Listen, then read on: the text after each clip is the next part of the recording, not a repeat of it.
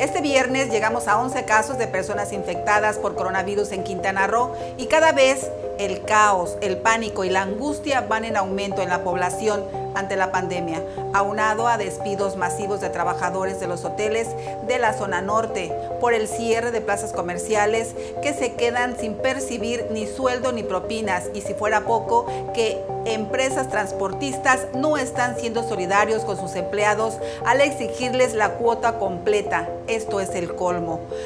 prevalece la inquietud y el temor de que no hay acceso a una prueba de laboratorio para verificar el avance de la enfermedad pues algunas personas han tenido que pagar hasta 7 mil pesos en hospitales privados para realizarse una prueba, mientras que los hospitales del gobierno no se darán abasto ni tienen suficientes pruebas para realizarla de forma comunitaria. Ante este panorama que se deslumbra en materia económica por el cierre de negocios, vuelos cancelados, hoteles semiparalizados, el comercio informal tampoco instalará sus tianguis en las regiones, el transporte en su máxima capacidad,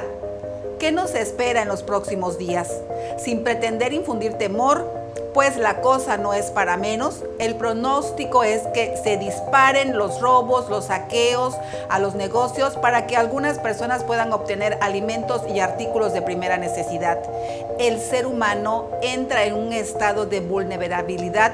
al iniciar la etapa del aislamiento social, por lo que se recomienda no saturarse de información negativa y estresar aún más a las células de nuestro cuerpo. Hay que evitar el colapso de nuestras estructuras más frágiles de la mente durante la cuarentena,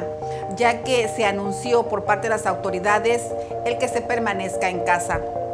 que sean días para limpiar el alma, para dormir y descansar en paz, en armonía, en equilibrio y que nos permitan ser mejores seres humanos. Habrá que esperar pues a que los gobiernos estatal y municipal informen los avances e implicaciones que está teniendo esta pandemia y la entrada de la segunda etapa que es la transición comunitaria, que consiste cuando empiezan a expandirse el virus Exhortamos a no dejarse contagiar por el pánico. Hay que relajar la mente mediante escuchar música que nos nutra,